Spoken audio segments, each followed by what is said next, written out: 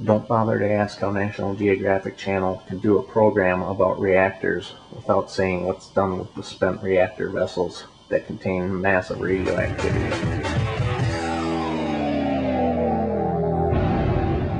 And the USS Virginia is one heavy sea creature. At 7,800 tons, it weighs as much as 1,600 killer whales.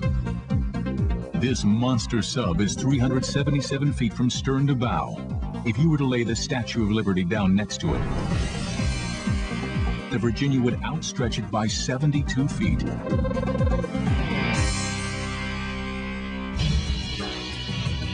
But how does such a beast move so effortlessly underwater? The dynamic thrust of this megastructure is a nuclear reactor. The design and operation of the reactor is top secret, but what we do know is that it's an astonishing powerhouse. A compact nuclear reactor converts seawater to steam.